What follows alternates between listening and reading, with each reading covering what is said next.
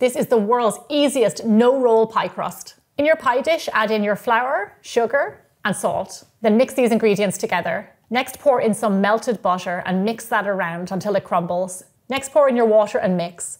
Make sure you've got enough water in there for your dough to come together. Then with your hands, just push it into your pie dish as evenly as possible. There you go, a no-fuss pie crust in minutes.